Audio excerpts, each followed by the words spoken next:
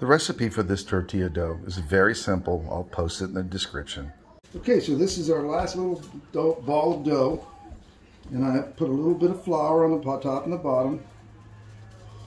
The way to get it nice and round, and this will not be my mother's tortilla. She made perfect tortillas, but something close, is to constantly turn it this way and to constantly flip it. This is about medium. You want it to be hot before you put your tortilla on there. So you can see it bubbling up. this is what we want.